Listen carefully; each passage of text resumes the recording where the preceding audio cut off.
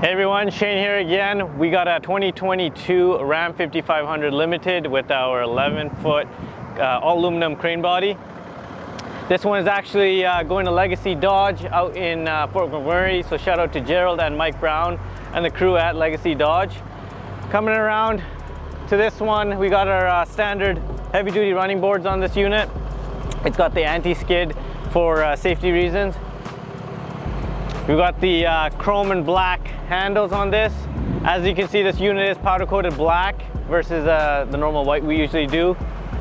Our zinc alloy hinges equipped with it, so it gives you that black on black. I kind of like this, uh, um, the color with the, the black hinges and the black body and the black and chrome handles. It kind of goes flows with the chrome uh, theme that the Ram Limited has uh, for this truck. Our ECCO lighting, uh, the four work lights on the top, as you can see, black Cobra 5500 uh, crane, electric crane on this one. Now here comes the fun part. So these got green drawers and shelves, compartment lighting. As you can see, we got the cabinet heater on this one. Our light duty work surface. You know, a lot of people are, ask what they can use this light duty work surface for. It's a light duty work surface. You can't really, you know, you can do small cuts and stuff on here.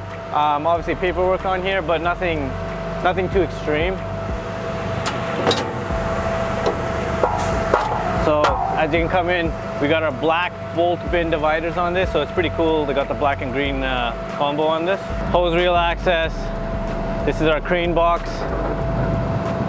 Coming around to the back, this is equipped with a master lock system. So you can lock all your doors with that handle. We got our manual outriggers, our bumper. Again, all our units come with a bumper. When we quote you with a, a price on a body, it's with a bumper. We don't uh, exclude the bumper in it.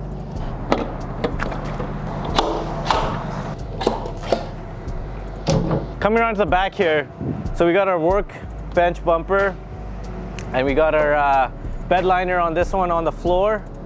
Three-piece roof,